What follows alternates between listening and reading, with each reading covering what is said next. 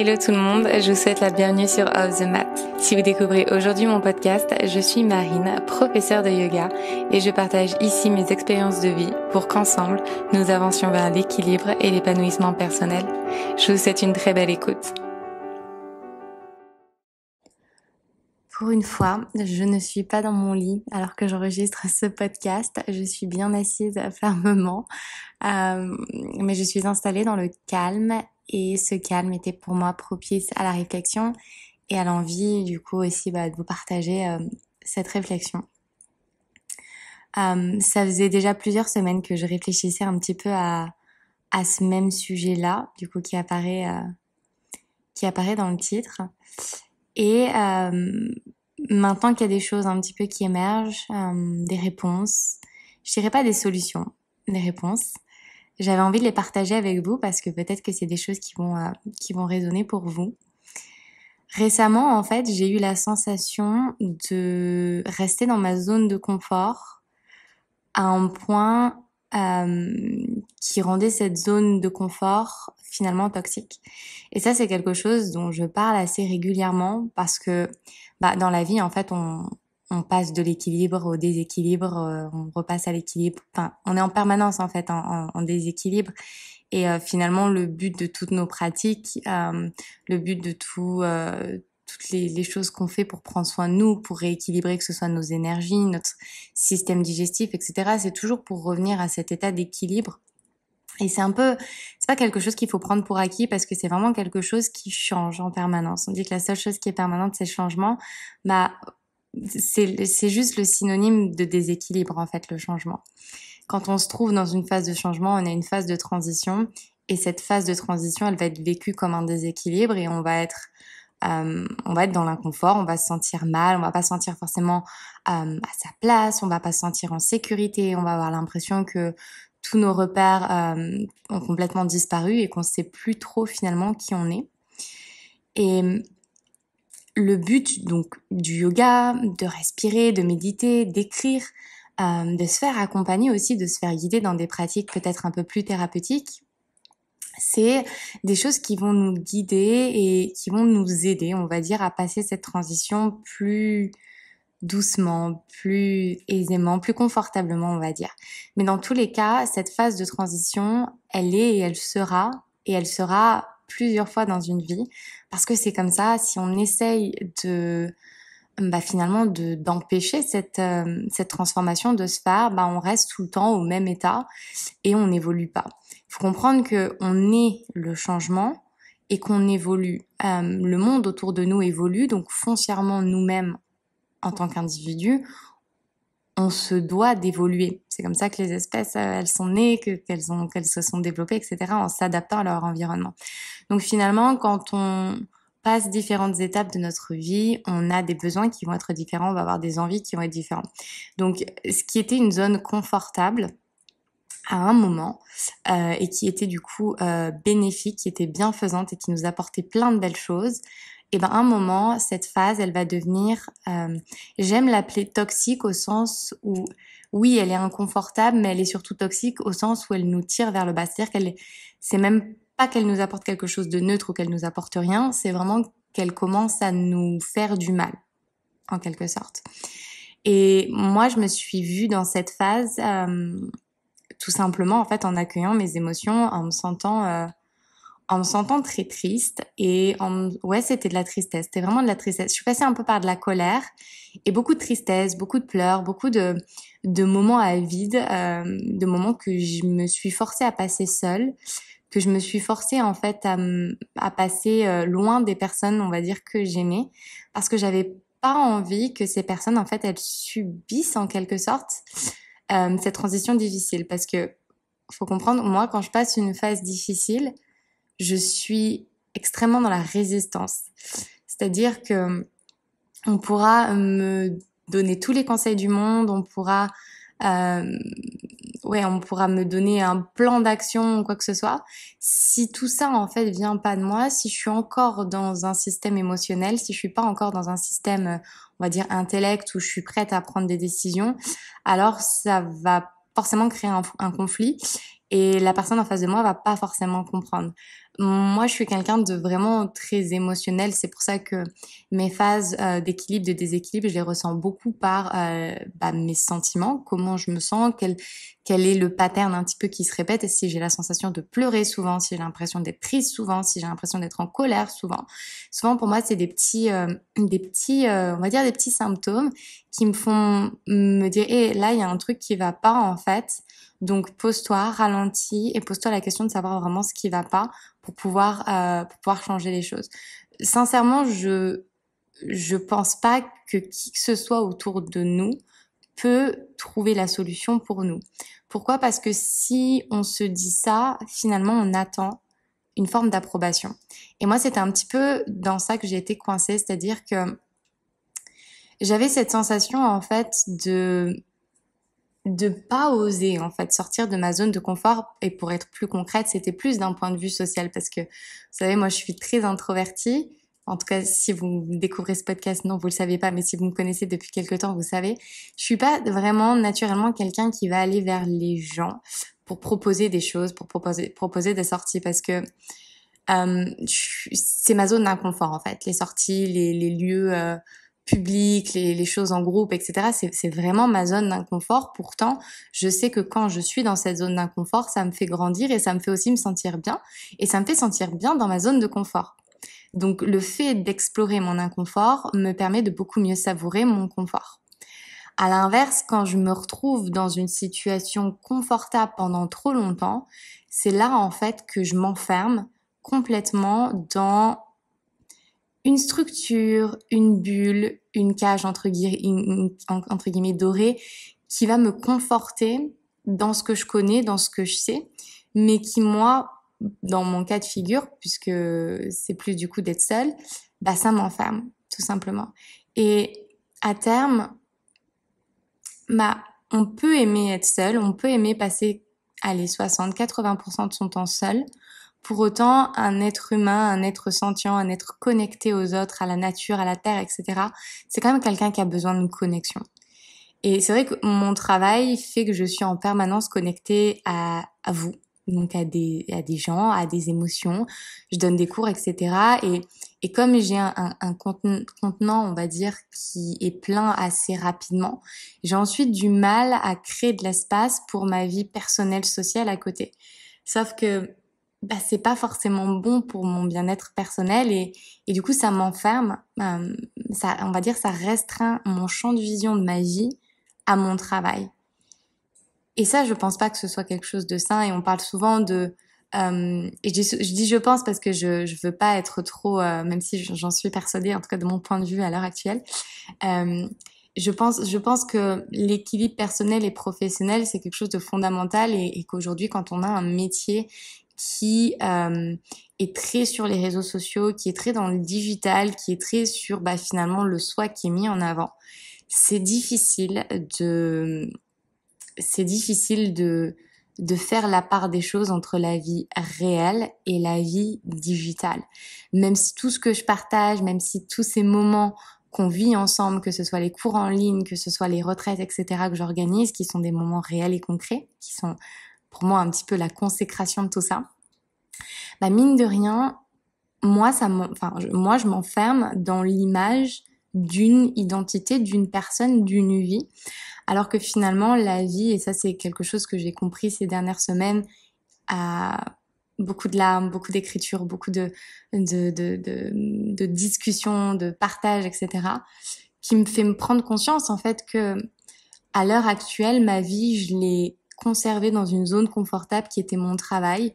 Euh, je me suis un peu euh, bah, imposé une forme de structure qui au début était chouette euh, parce qu'elle m'a beaucoup aidé à construire des choses dans ma vie professionnelle. La structure, l'organisation, c'est vraiment quelque chose que je défends pour arriver, en tout cas d'un point de vue business et professionnel, pour arriver à se construire, pour avoir une forme de discipline.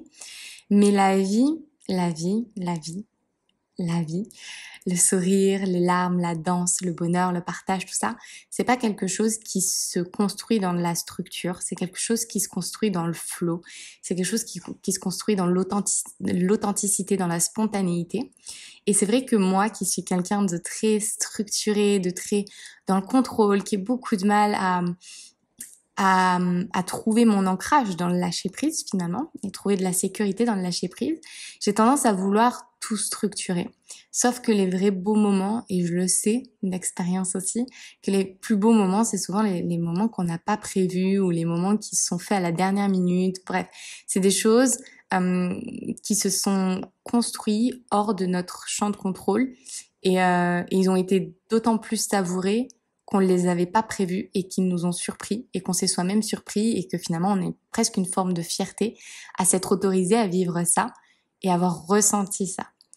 Et, je pense que c'est difficile dans notre société aussi actuelle où on est très euh, finalement éduqué à travailler. Enfin, en tout cas, moi, en tout cas, j'ai été éduquée comme ça, peut-être. Et d'ailleurs, euh, dites-le moi en commentaire. Peut-être que vous avez été éduqué d'une autre manière, peut-être que vous avez grandi d'une autre manière.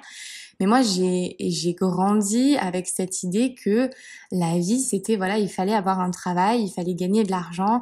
Euh, si tu gagnes pas d'argent, ça veut pas dire que t'es pas successful, que tu réussis pas, mais ça veut dire qu'il va, tu vas manquer de quelque chose dans ta vie en fait. Et moi, je pense que j'ai grandi avec cette blessure là, qui fait qu'aujourd'hui j'ai ce besoin de me sentir en permanence en confort, quitte à me couper des choses euh, qui finalement me feraient du bien, qui feraient du bien à ma santé mentale, mais qui finalement sortent de ma structure et de ma zone de confort. Donc du coup, je préfère, euh, je préfère m'en éloigner.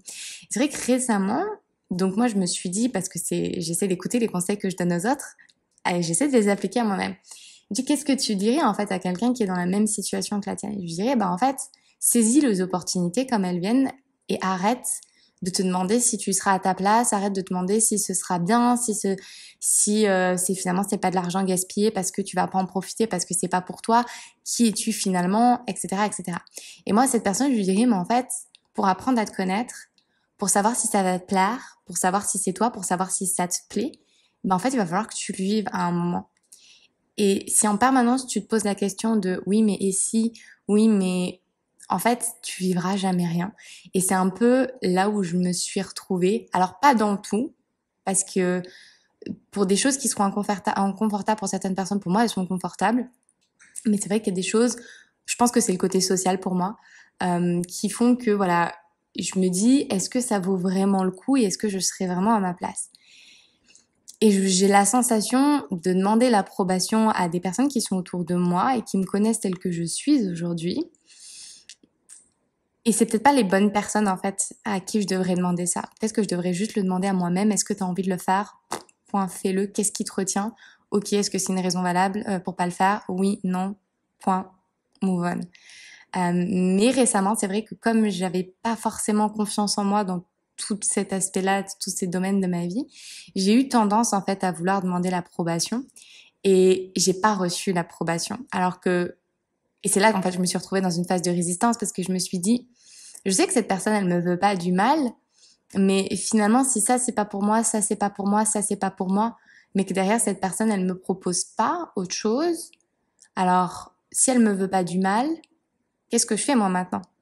Parce que les opportunités que la vie, elle a placées sur mon chemin, je les repousse. Et si je continue à repousser les opportunités que la vie place sur, mon chemin, bah, des opportunités, en fait, j'en aurai plus. Et si j'attends que d'autres me fassent des opportunités qui potentiellement pourraient me plaire, alors qu'en fait, euh, bah, peut-être pas en fait, parce qu'il y a que moi qui me connais mieux, eh ben, euh, ça risque de ne jamais arriver.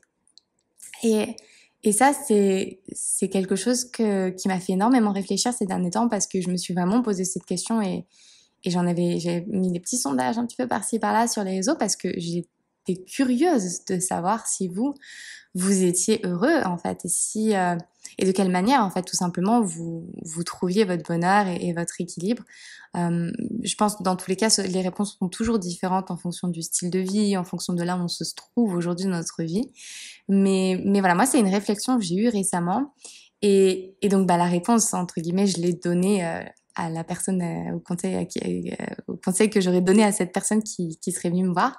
C'est tout simplement en fait de de pas faire les choses euh, en attendant déjà l'approbation des autres, mais de pas prendre des décisions depuis, depuis un état de peur, mais de les prendre depuis un état d'amour, de volonté, de de, bienveillance, de partage, de compassion, vraiment depuis ce cœur, donc cette, cette, place centrale qui est au centre de notre poitrine et de se dire, ok, euh, why not en fait?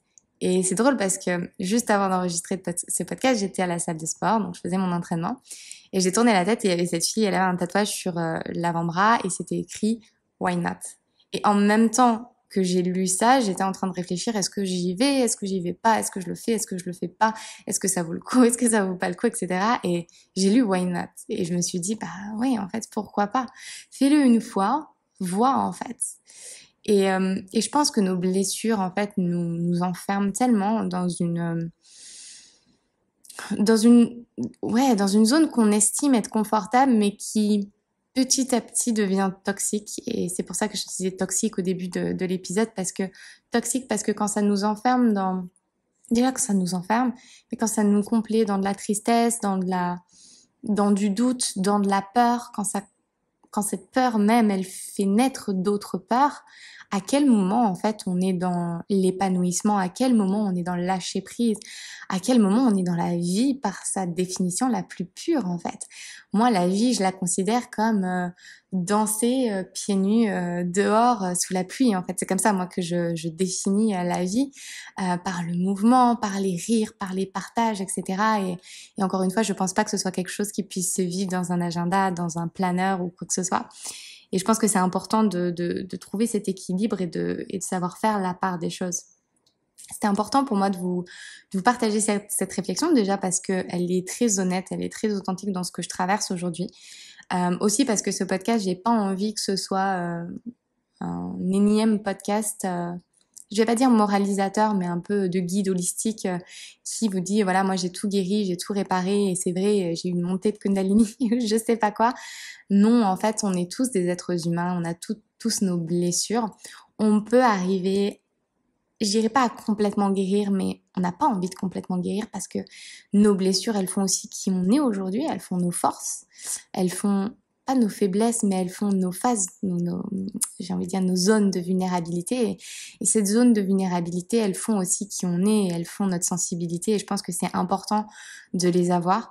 Moi, ce podcast, je le veux vraiment comme un, lieu euh, bienveillant dans lequel on, se sent tous en fait à, égaux, euh, on se sent tous humains à, même échelle, à même hauteur, et pas euh, que vous ouvriez ce podcast en vous disant ok Marine, elle va avoir euh, la solution à mon problème, elle va avoir la réponse à mon problème. Ni moi, ni aucun guide holistique que vous trouverez sur les réseaux sociaux, ni aucun thérapeute d'ailleurs ne va vous donner la réponse que vous cherchez, parce que la seule réponse que vous cherchez, c'est vous qui l'avez. Il n'y a que vous en fait pour vous dire, ok, maintenant j'en ai marre euh, d'enfermer, de m'enfermer euh, dans cette vie-là moi j'aspire à ça, j'ai envie de faire ci, j'ai envie de faire ça. Ok, qu'est-ce que je peux faire? De quoi je me sens capable et de quoi je me sens pas capable? Je pense que c'est important d'ouvrir la porte à d'autres personnes pour nous guider. On n'est pas censé, euh, on n'est pas censé déjà savoir tout, tout faire, mais au-delà de ça, les, les choses qu'on peut faire pour les autres, c'est pas forcément ces mêmes choses qu'on peut faire pour soi-même. Et ça, c'est hyper important de le, de l'accueillir et de le reconnaître. Euh, moi, il y a plein de choses que je vois chez les autres. Il y a plein de choses que je ressens chez les autres qui sont évidentes, que les autres voient pas.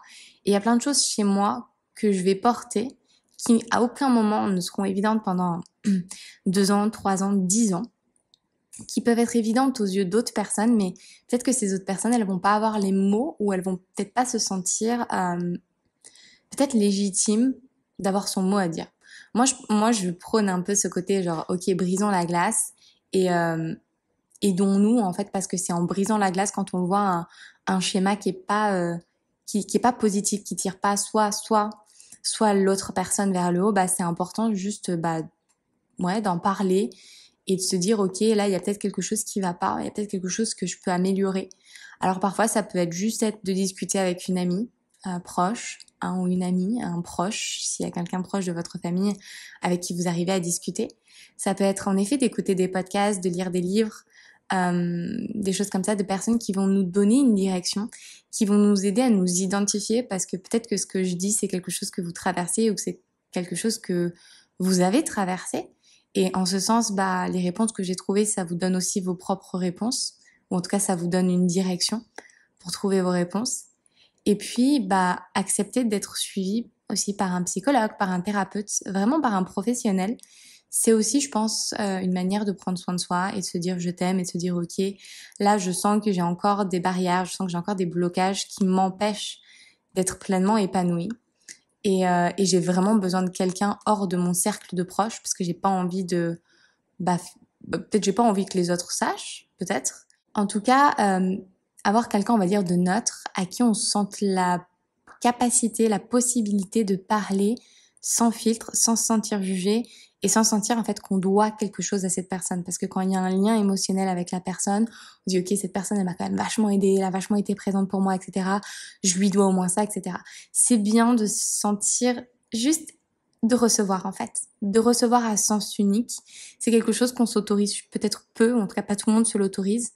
Euh, surtout quand on est des personnes qui aimons aider et qui aidons beaucoup, on a souvent du mal à recevoir. Et donc je pense que pour ces personnes-là, qui sont aussi des personnes comme moi, voir quelqu'un, c'est vraiment se dire, OK, maintenant j'accepte, moi, de faire la décision de prendre soin de moi pour moi, et j'accepte de recevoir pour moi. Et oui, c'est très égocentrique, mais on n'a jamais dit que l'ego, c'était euh, quelque chose de négatif. C'est encore c'est quelque chose que je répète parce que l'ego, c'est le rapport au jeu et à l'identité. Euh, donc voilà, n'hésitez pas à me partager votre ressenti, à me partager votre voyage euh, entre ces zones de confort et ces zones d'inconfort. Qu'est-ce que vous faites quand vous sentez que vous êtes dans cette zone d'inconfort et dans, du coup dans cette zone de transition? Est-ce que vous autorisez finalement à, à traverser cet inconfort pour aller vers un nouveau confort? Ou est-ce que vous avez la sensation au contraire de préférer le confort? Et est-ce que c'est aussi ça la vraie question qui est importante de se poser, c'est pourquoi c'est confortable en fait? C'est confortable parce que ça conforte mes peurs, ça conforte mes blessures, ou c'est confortable parce que c'est ce dont j'ai besoin véritablement et authentiquement pour me sentir euh, épanouie, vivante, etc.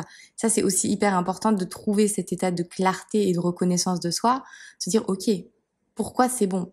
Et je pense que moi, moi je le dis d'un point de vue très personnel, souvent ma zone de confort, elle, elle est censée être très courte dans le temps, mais j'ai tendance à la faire aller beaucoup plus long, longtemps dans le temps. Et c'est là qu'elle en devient toxique parce que dans mon confort, en fait, j'ai tendance souvent à, à, conforter plus mes peurs qu'à qu'à conforter vraiment ce que je devrais réellement euh, travailler et faire éclore. Partagez avec moi vos ressentis, vos questions en commentaire sur YouTube. Le podcast est également disponible sur Spotify et sur iTunes, donc vous pouvez l'écouter sur toutes les plateformes, mais les commentaires, je ne peux les lire, je crois en tout cas, que sur YouTube. Donc partagez tout ça avec moi et euh, merci de m'avoir écouté. J'espère que ces mots résonneront en vous et qu'ils vous inspireront dans votre chemin de vie. Si cet épisode vous a plu, n'hésitez pas à écouter le reste de la playlist et à rejoindre dès aujourd'hui Luna, une communauté bienveillante que j'ai à cœur de guider chaque semaine vers le bien-être et la pensée positive au travers de mots doux inspirants. Encore merci pour votre écoute et je vous dis à très vite.